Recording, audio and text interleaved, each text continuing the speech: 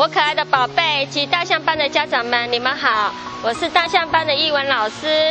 首先要恭喜你们长大了，要进入小学就读。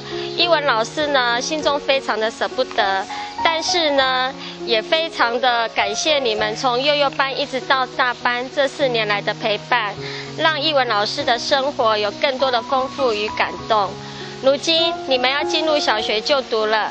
译文老师期许你们每个人都能养成自动自发的好习惯，在学习的路上要勇于面对挑战，不管遇到任何挫折，都要勇敢的站起来哟。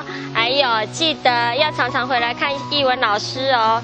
最后，译文老师祝福每个小朋友都能够平平安安、健健康康、快快乐乐的长大。我可爱的宝贝们，珍重，再见喽。